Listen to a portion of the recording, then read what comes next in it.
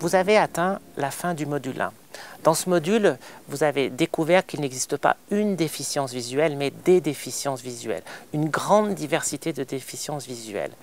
Vous vous êtes euh, aperçu qu'il y avait euh, différents types de facteurs, des facteurs internes, externes, endogènes ou exogènes, qui participent au développement de l'enfant avec un handicap visuel tout au long de la vie. Il est très important de considérer que les informations, les savoirs qui vous ont été transmis durant ce modèle 1 sont importantes pour comprendre les modules suivants.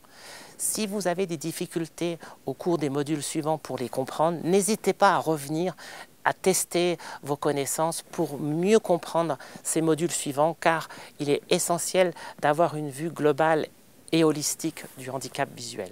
Maintenant que vous avez les principales bases des déficiences visuelles, je vous invite à passer au module 2. Dans ce module 2, nous allons plutôt traiter des aspects cognitifs liés au handicap visuel. Et nous allons essayer de répondre à des questions comme comment percevoir le monde, comment imaginer, comment se représenter ce monde quand on a un handicap visuel.